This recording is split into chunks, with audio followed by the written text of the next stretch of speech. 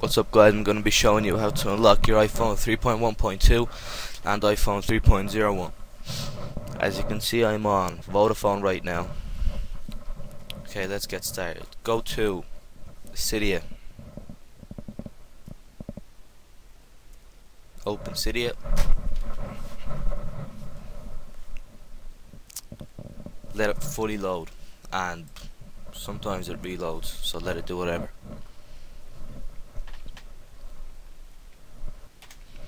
Okay, when it's finished, go to Manage Sources, Edit, Add, and for the 3.1.2 users, type in black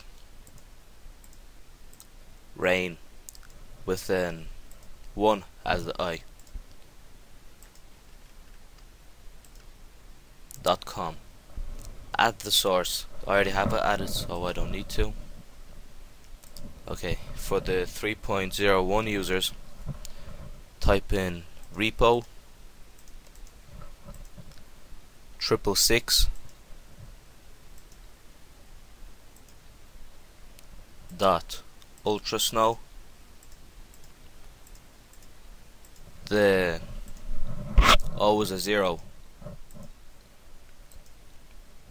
com. Add the source. Okay, when it's finished adding, click done and go to the one you added.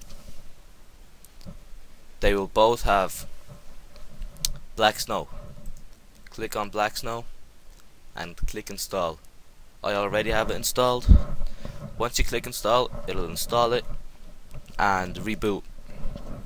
Once it's done, turn off your 3G from in your settings. Turn it off and put your sim in. That's all. Thanks for watching. Subscribe and leave your comments.